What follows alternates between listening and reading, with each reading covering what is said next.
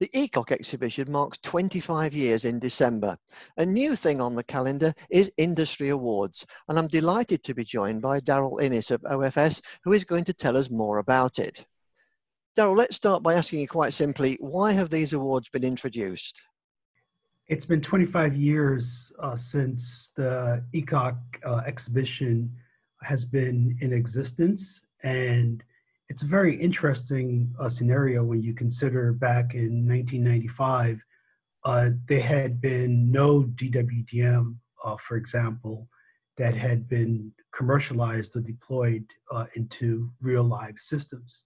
Since then, over the past uh, 25 years, there's been tremendous commercial progress uh, in the market. And similarly, at ECOC, we have sponsored and supported companies in illustrating and demonstrating and showcasing the different progress from a commercial perspective. And so these awards is a celebration of the industry and the commercial impact that it's making in the marketplace. Yes, I mean they recognise the the achievement of, of, of, fibre optic sort of innovation. Just remind us why this part of the industry is so so crucial, really, to all of our lives. It's really funny. It's very very funny because fiber optics is the backbone that's enabling all of the communications that we have today uh, it's not only voice uh, and, and, video, but all of the social media, the entire transformation that has gone on commercially.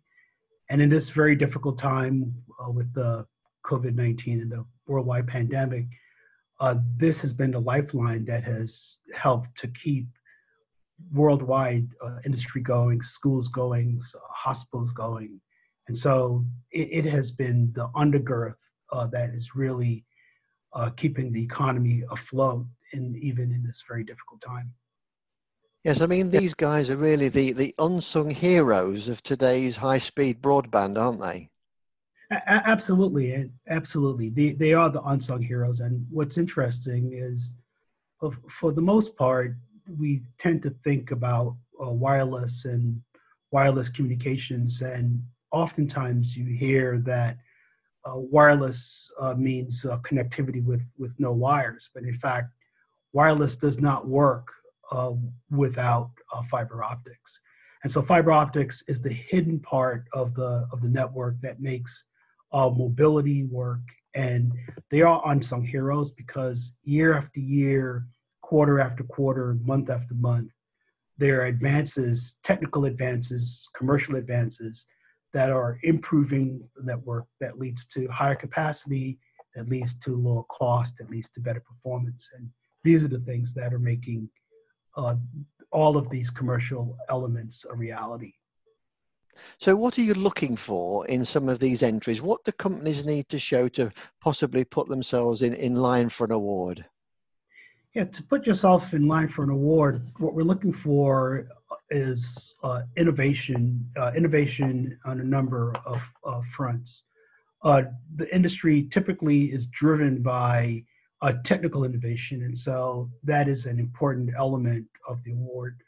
Uh, but I think perhaps even more important is to demonstrate the commercial viability of the things that uh, companies are are pushing, are putting forward, and so it's not uh, just uh, an individual, but it's also a product or it's also uh, a company or a group uh, that's driving something on the commercial and that's making the technology a viable, useful, integral part uh, of the network and of our of our ecosystem. Well, Daryl, it's going to be nice that these people are going to be acknowledged and get their share of the limelight for once. Thank you very much for joining us today. Thank you.